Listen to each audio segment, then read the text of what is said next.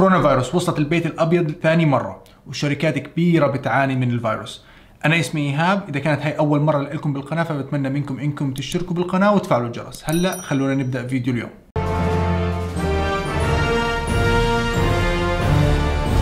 سلام. كلنا بنعرف إنه شركات كبيرة سكرت محلات بيع التجزئة عندها بشكل مؤقت بسبب الكورونا فيروس في بداية شهر ثلاث حسب التعليمات اللي إجت من الدولة ومن الولايات. لكن مايكروسوفت لكن مايكروسوفت قررت إنها تسكر جميع محلات بيع المفرق والتجزئة على طول. أخذت hit أو ضربة مالية 450 مليون دولار وسهمها نزل 2% ما بعرف ليش هيك قرروا هيك قرار. يمكن بيع التجزئة ما كان كتير موفي معهم يمكن الأونلاين أحسن.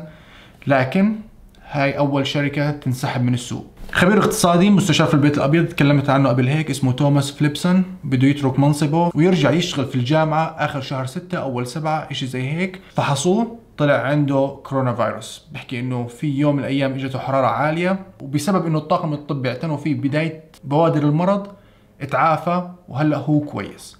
لكن الكورونا فيروس وصلت البيت الأبيض.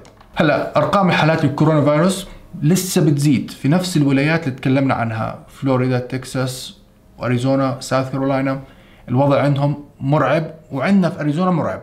لكن سووا مقابلة مع حاكم ولاية تكساس وسألوه لو برجع فيك الزمن شو الشغلة اللي بتغيرها أو بتعيد النظر فيها؟ حكى لو برجع فيها الزمن بأخر فتح البارات. البارات هي كانت سبب انتشار الفيروس بهاي السرعة. لأنه التجمع في البار غير عن أي أماكن ثانية لأنه البار معمول إنه الناس يقعدوا مع بعض ويتكلموا. وكان هذا سبب انتشار الفيروس برأيه. هلأ بخصوص عدد حالات كورونا في أمريكا وصلت 2.5 مليون حالة. إحنا قاعدين نتكلم عن أقل من 10% من عدد سكان أمريكا. كل التعب وال stress اللي شفناه على المستشفيات إنها تقريبا صارت full خاصة في نيويورك والأماكن اللي انضربت بقوة. والوضع في المؤسسات الصحية كيف تعب وكيف الممرضين والدكاترة تعبوا في هذه الفترة. كل هذا في أقل من 10% ولسه ضايل 90% الله يحمينا ويحميكم كلكم.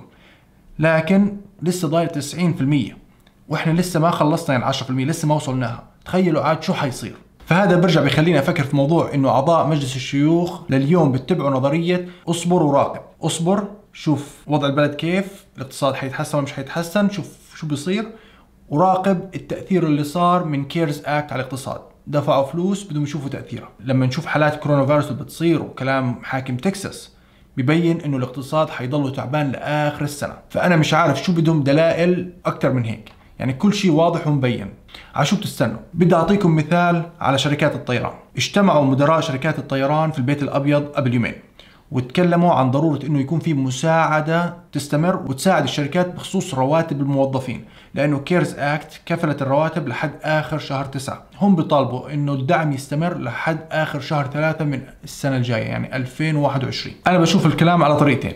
طريقة واحدة إنه الطيران شايف إنه الأزمة كبيرة عميقة محتاج دعم أكثر ما بتوقع إنه السوق يتحسن من هون لآخر شهر ثلاثة من السنة الجاي أو إنه شركات الطيران ما بدها تدفع من اللي محوشاه وحابة تستغل الحكومة قد ما بتقدر وتاخذ فلوس أكثر لأنه الوضع الاقتصادي تعبان وإذا بيمشوا الموظفين اللي عندهم راح يتعبوا الاقتصاد بزيادة والدولة ما بدها زي هيك فما بعرف بالضبط شو النية لكن هم هيك بطلبوا هاي أخبارنا لليوم. كنت بتمنى يكون في أخبار أحلى عشان أجيب لكم إياها بس هذا الموجود.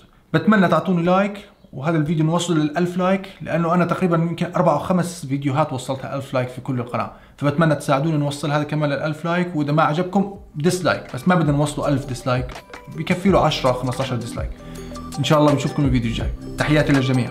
سلام.